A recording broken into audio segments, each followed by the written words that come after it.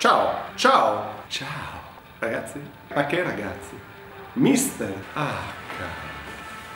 Fa o non fa? Fa. E chi è questo Mister H?